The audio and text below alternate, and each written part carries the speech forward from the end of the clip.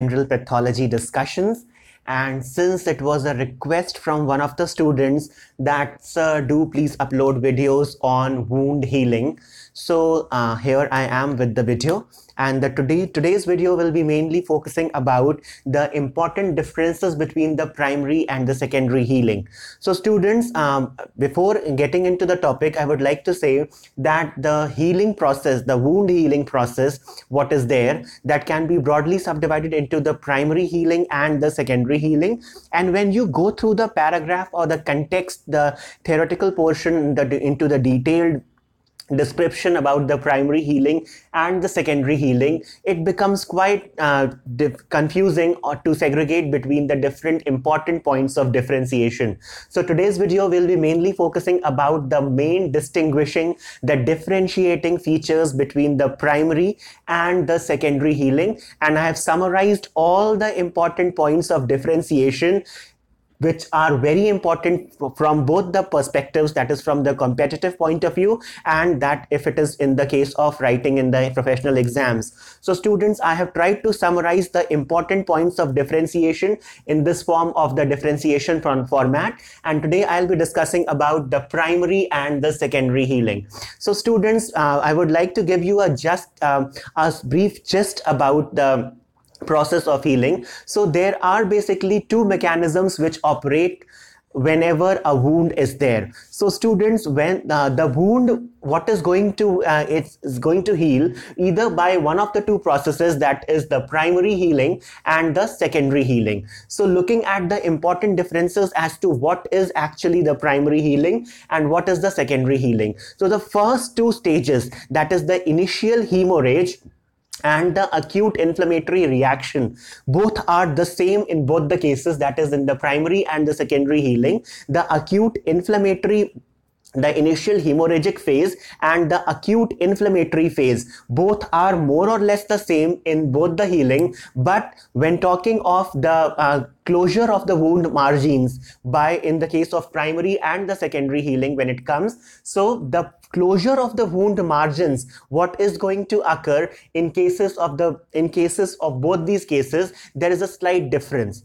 So students here i'll be emphasizing within these points. So beginning with primary healing. So students one thing very important what i would like to emphasize over here that primary healing it is that healing what is mostly occurring in the clean and uninfected wounds. So students do remember the primary healing what is there which mostly occurs in a clean incised wound. So in cases of whenever there is a clean or an uninfected wound, the healing what is pre uh, predominantly seen, it is the primary healing. Whereas when talking of the secondary healing, the secondary healing in this case, the wound is open with large tissue defect is going to occur.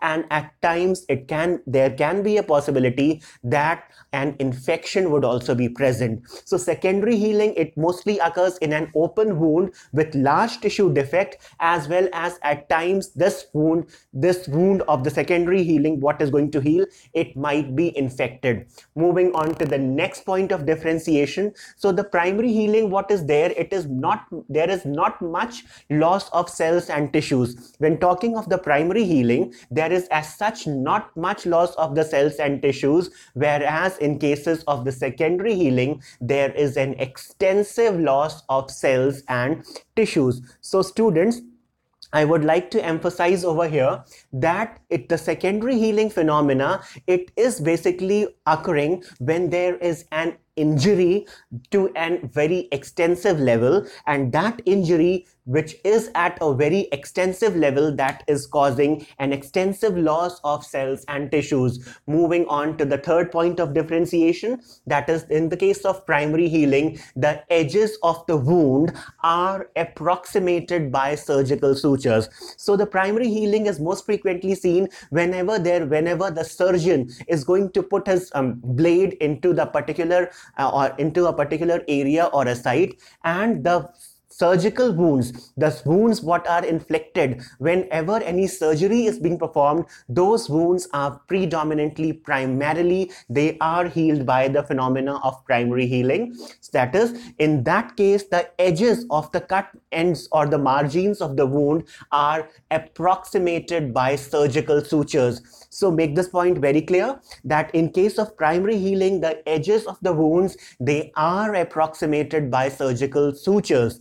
Moving on, when the on the contrast in case of the secondary healing, the edges of the wounds, they are not approximated by surgical sutures. So this is the secondary healing actually what is going to occur whenever there is an extensive cell, cellular or tissue injury, when an extensive uh, accident or in cases of um, large defects what occurs in cases of secondary healing. And here the phenomena the edges of the wounds they are not approximated by surgical sutures. Moving on to the next point of differentiation as I have already specified and clarified that the primary healing phenomena it is mostly induced by the surgeon which is by taking which is by the surgeon whenever he's going to operate a particular area or a site. So the primary healing takes place in surgically incised wound. Whenever there is going to be a surgery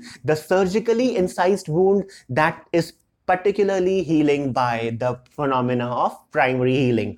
Moving on to the contrary on contrary to this point there is in case of secondary healing what we find that it is going to take place in infected and large wounds which are caused due to any form of injury. So whenever in, in a road traffic accident when it, uh, the tissue is being crushed or lacerated in that particular condition the healing what is seen it is the primary healing and that takes place whenever there is going to be in an infected and large wounds which are caused due to an injury. Moving on to the next point of differentiation that in case of the primary healing the scar tissue actually when a heal it's a normal phenomena that whenever any kind of a wound healing occurs after the complete healing of the wound there is a there is and there is actually the formation of a scar tissue. So scar tissue is is uh, it's in most of the cases it is found that the wound after the process of wound healing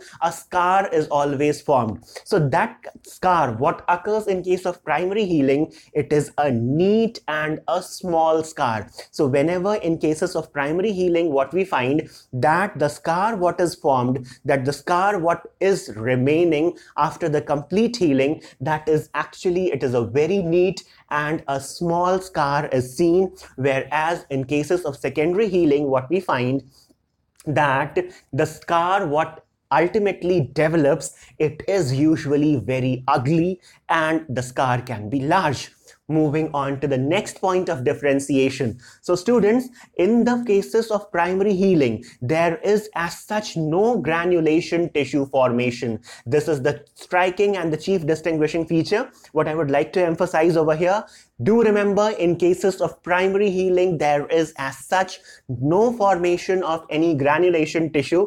No granulation tissue is being formed, whereas this granulation tissue forms the main bulk in cases of secondary healing. So students make this point very, very clear that in cases of secondary healing, the granulation tissue, it is forming the main bulk of healing students i would like to emphasize over here one point that in the in both the cases when looking at the wound margins what are there the margins of the wound what are the cut wounds are there and which is it is having both the margins. So what is going to happen is that the basal cells of the epidermis in the cells in the skin there is the epidermis and the dermis. So the basal cells of the epidermis are going to proliferate in the form of epithelial spurs. And these epithelial spurs they are going to eventually migrate towards each other. And ultimately there is going to occur the closure of the wounds in case of primary healing. But students in the cases of secondary healing, what we find that these epithelial spurs, what are formed by the proliferation of the epi basal cells of the epidermis, they are not going to close the wound margin until and unless the granulation tissue, what is being formed uh, from the base of the wound margin is not going to fill up the wound. So students make this point very clear that the epithelial the uh, the basal cells of the epithelial epithelium of the epidermis what are going to approximate each other and close the wound margin in cases of primary healing they are well sufficient enough well capable enough to close the wound which is going to occur by primary healing. Whereas in cases of secondary healing what the condition is there the epithelial spurs what are formed by the proliferation of the basal cells of the epidermis they are not going to close the entire wound